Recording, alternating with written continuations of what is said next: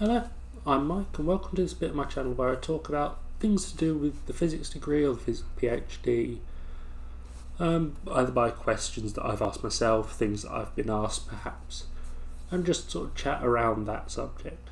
In this case, I want to talk a little bit about imposter syndrome.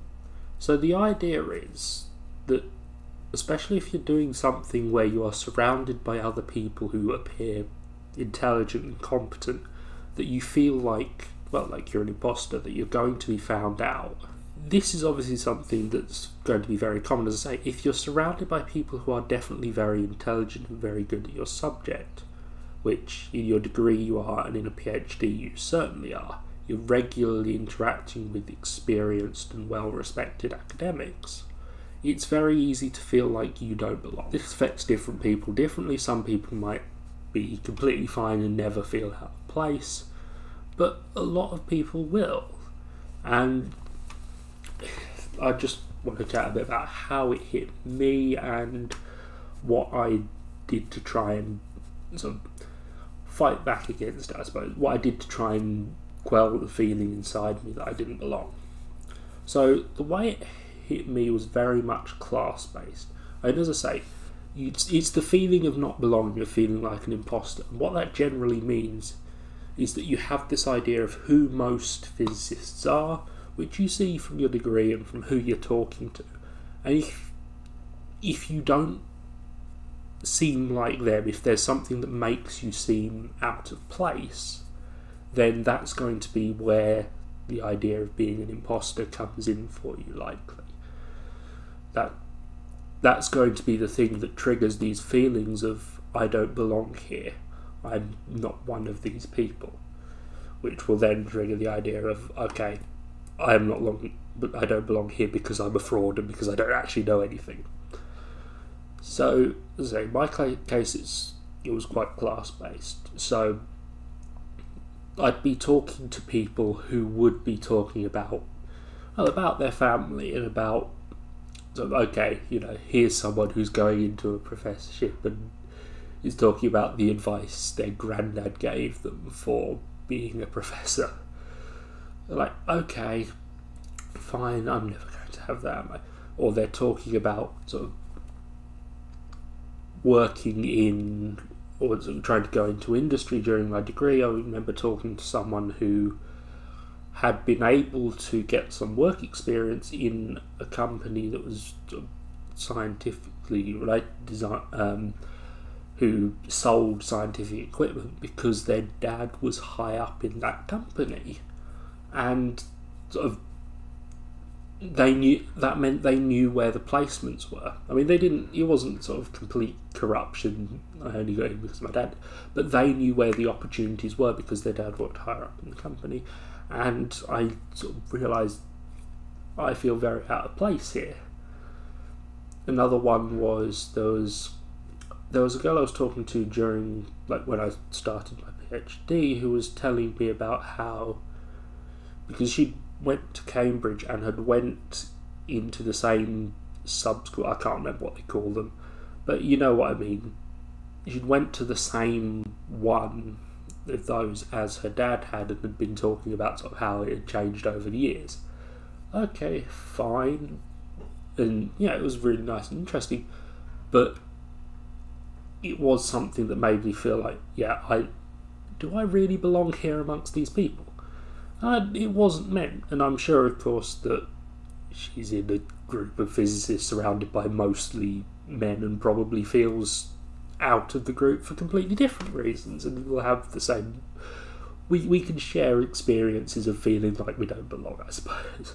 But in my case, it's very, it's very much based on I don't I get the feeling that I don't belong in this group of people because because of my background.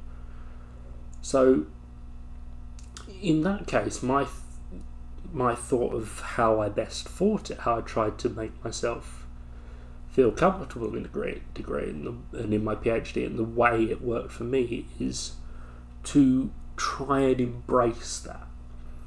In my case, it was embracing my sort of family's, my class, my status, and being be trying trying to be openly proud of that.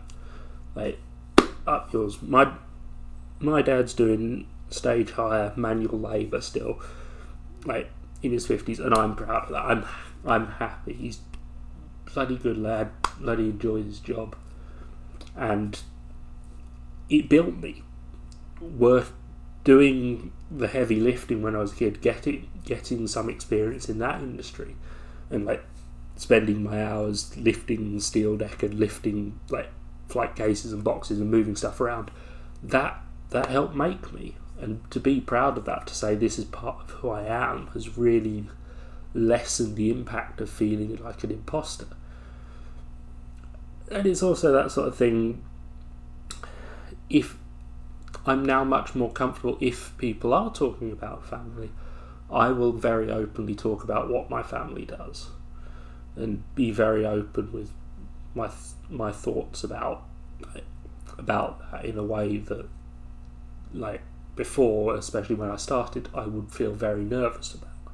And that has limited the amount the amount of t- the feelings of being an imposter I've had the other way it came up to me other than class is it is very easy to dismiss skills that you have learnt by rote and I learnt an awful lot by rote.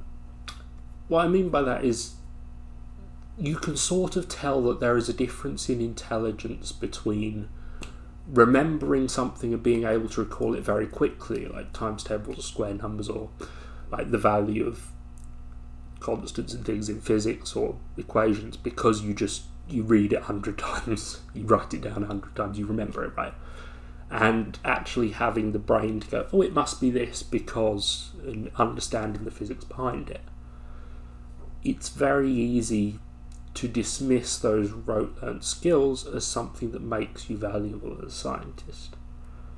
And I think the way I've got around thinking about that is just to to understand that there is still value in knowing something because you know it and because it's a fact that you know. In that sort of, I've learned it by rote sense. I've wrote it down many times, and I will now understand. I will now know the answer, and that is that it does make you a lot more efficient as a worker. So when I'm, if I am thinking about sort of how to design something, then there's a lot of just facts in my head that I can pull out quickly without having to go, oh, hang on.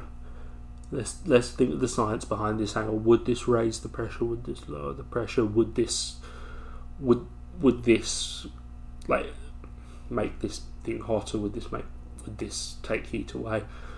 Without having to say the scientific without having to think about the scientific principles behind it, I can very quickly get bish bash bosh, this is what I need to do.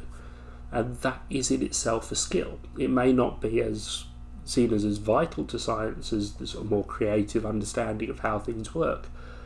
But understanding that those rote learning skills are useful and are valuable to you as a scientist, that did also have an effect on like not feeling like an um, imposter because as I say it's very easy to feel that those skills don't count.